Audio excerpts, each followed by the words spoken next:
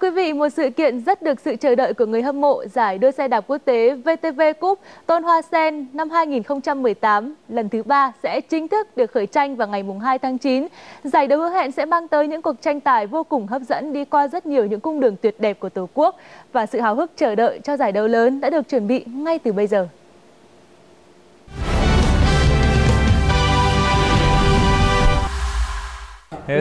Tôi biết là năm nay có nhiều đội mạnh hơn so với năm ngoái. Philippines và Hàn Quốc là những đội rất đáng gờm. Đội Lào cũng không thể bỏ qua được vì có nhiều tay đua châu Âu.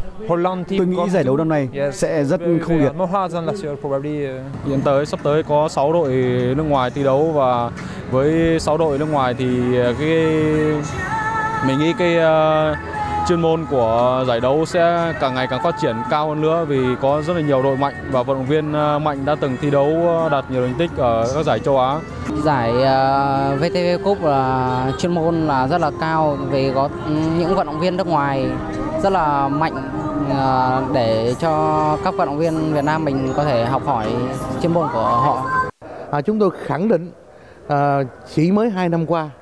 nhưng À, giải xe đạp quốc tế VTV đã góp phần à, bổ sung vào cái à, lịch của thi đấu quốc gia của chúng ta à, rất là hữu ích và nó tạo thêm chất lượng cũng như quy mô cho hệ thống